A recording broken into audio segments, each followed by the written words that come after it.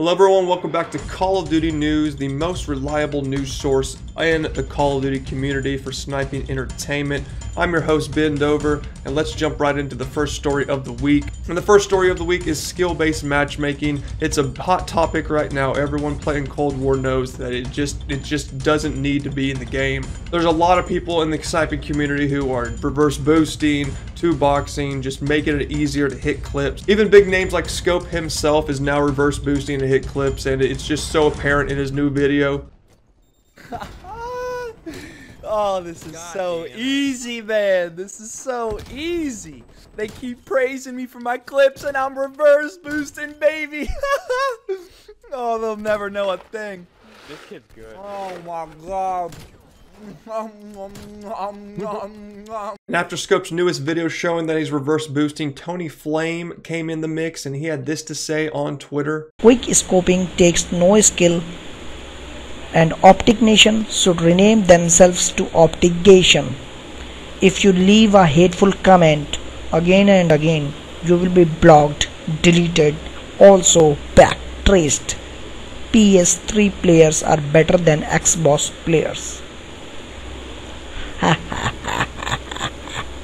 The only way that they can stop this is if they take out skill-based matchmaking or they implement some sort of system where you have to reach a certain level, like level 10 or level 20, before you can join other games. Similar to how they had it on World at War, where if you're a lower level, you can join a match with only lower levels. But they really need to do something before they lose the sniping community altogether because people out here faking clips.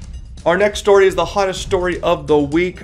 PC hacker XWASD Mitch versus Major gaming organization Exalt Sniping. It all started yesterday when XWASD Mitch was live streaming on his Twitch and he got into a game with some Exalt members and he kept getting killed by them and he just kept getting angrier and angrier until uh, he eventually just uh, went off. Exalt Sniping actually tweeted out the clip with a smiley face, so we'll just roll the clip right now. You're a dirty hoe. I want everyone to. No! Now, I'm gonna give it to you. Like I gave it to your mom last night. Ah!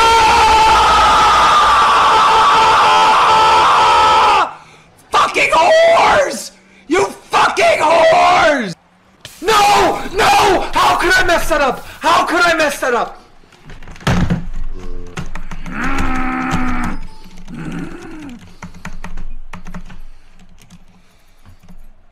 So as you can see, Mitch was not happy. He actually ended up ending the stream and blocking everyone in the community on Twitter. Yeah, guys, you can't please everyone in the community. We all just can't be friends, unfortunately. But, uh, you know, while we're here, we might as well coexist. So uh, that's it for the news today, guys. Hope to see you next time, and I am out. Deuces.